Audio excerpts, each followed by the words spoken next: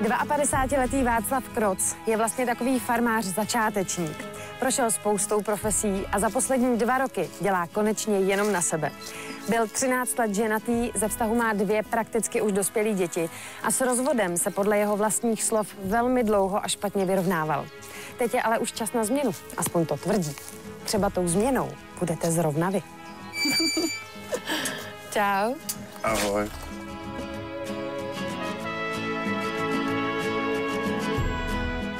To jsi stavěl ty? No, to stavil můj táta a já to teď předělávám. Jako k lepšímu teda si myslím aspoň. Před dvěma roky zdědil Vašek po svém tatínkovi chov ovcí a toho přivedlo na myšlenku začít farmařit. No a co ta farma? Ty jsi v tom vyrůstal od malička? No, já to jsem taky... vyrůstal, tatínek vlastně eh, sedlačil, že jo, no a potom hospodařil, no a maminka v podstatě taky, že jo. Protože máš na zahradě rybník? No, tam, tam mám ryby, zlatý koj kapry a zlatý karasy a takovýhle e, rybičky, ozdobný spíš, pro radost. A to je co? To, to je domaček pro děti, ale nikdy ho nevyužili, protože mezi tím jsem se rozvedl.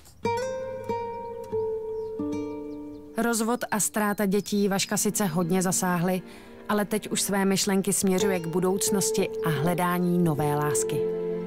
Jak by měla ta budoucí žena vypadat? Pohodářka, jo, přirozeně inteligentní, no, na vzdělání celkem nezáleží. Jako. Aby jsme se rozuměli a aby jí nevadil venkovský život. Jo. Hmm. To, je, to je jako důležitý. No. Věk, děti. Věk, no to je do těch 45 let, tak si myslím. A od je to jedno, jo? No, to je jedno. A děti? Musí se počítat i s dětma, že jo, takže děti mi nevadí, no, záleží, jestli je nebudu vadit já jim, jo. Co by ti vadilo u té budoucí partnerky? Notorická kuřačka, kdyby byla teda, pár cigaret mi nevadí. Potom jako hysterie, žárlivost, jo, prchlivost a takovýhle věci, no, takže hledám pohodářku prostě. Tak mám představu spíš, aby vedla tu domácnost. Ta nejtěžší práce to musí udělat chlap, že jo. Prostě být na dvou místech, eh, udržovat domácnost, ještě hospodářství, to prostě eh, jako se nedá moc eh, dlouho zvládat, že jo. V podstatě jsem optimista, jo. No, věřím v lásku vlastně, že někoho potkám, že se zamiluju, jo, že budu mít nový vztah, nový život.